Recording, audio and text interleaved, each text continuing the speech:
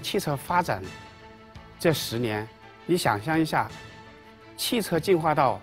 方向盘都不要了的那一天，嗯，这些车企它往哪里卷？所以我就在想，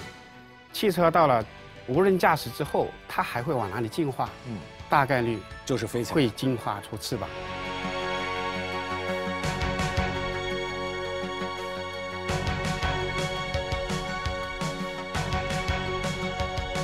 我们的飞行汽车，它会有六个或者八个旋翼，嗯，其中一个或者两个旋翼停了之后，它还能够安全的迫降，嗯，因为我们做了备份，嗯，同时呢，我们的飞控导航系统也有三套，那纵使它这一套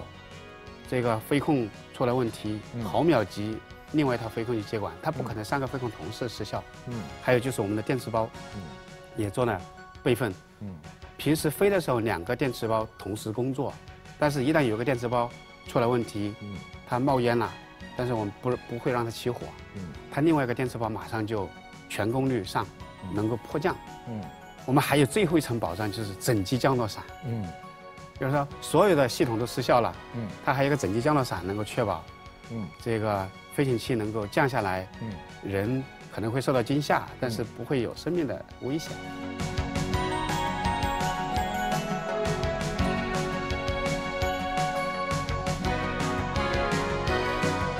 在新的这个，呃，电动航空这个领域里面呢，